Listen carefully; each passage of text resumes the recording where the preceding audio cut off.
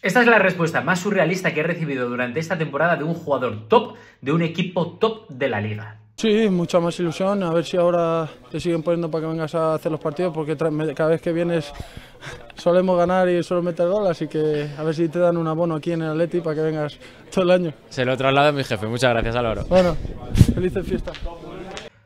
Álvaro, todo corazón. Muchas gracias, tío.